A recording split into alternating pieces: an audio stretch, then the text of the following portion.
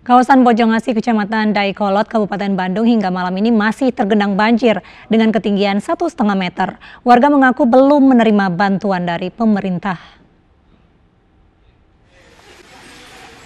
Warga kampung Bojongasi, Kecamatan Daikolot masih tergenang banjir dan desa ini merupakan kawasan terparah terdampak banjir dengan ketinggian hingga satu setengah meter.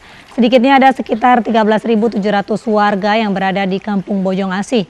Meski hingga malam ini banjir masih tinggi, sebagian warga memilih untuk tetap bertahan di rumah mereka dengan alasan fasilitas di pengungsian kurang memadai.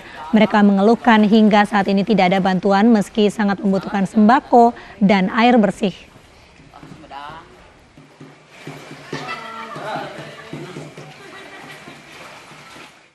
Ya nomor satu mah makannya paling hmm. ke ini uh, iya beras seperti itulah sembako. Jadi sembako. warga butuh sembako kayak gitu ya perlu hmm. perlu sekali sembako apa air bersih apa. Hmm.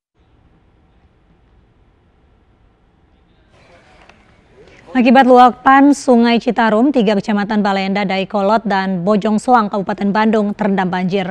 Air setinggi hingga 2 meter ini merendam ribuan rumah warga. Warga terpaksa menggunakan perahu untuk bisa menerobos banjir dan beraktivitas. Luapan Sungai Citarum ini hampir setiap tahun terjadi saat musim hujan tiba. Warga berharap masalah banjir ini bisa tertangani oleh pemerintah.